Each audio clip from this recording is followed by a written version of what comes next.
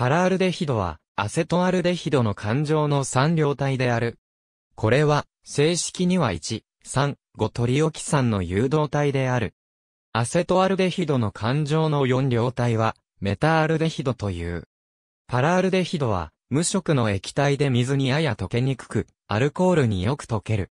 パラアルデヒドは、空気中で徐々に酸化され、茶色に変色し、アセトアルデヒドの匂いを発する。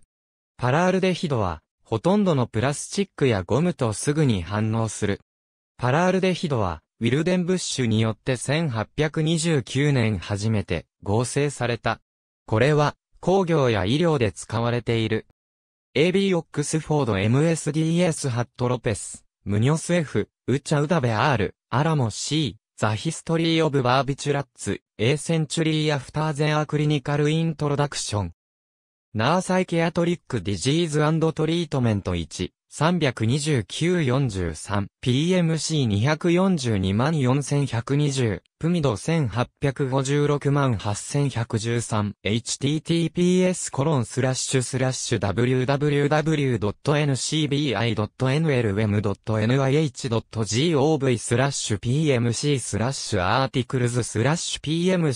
PMC24241220 スラッシュ。ありがとうございます。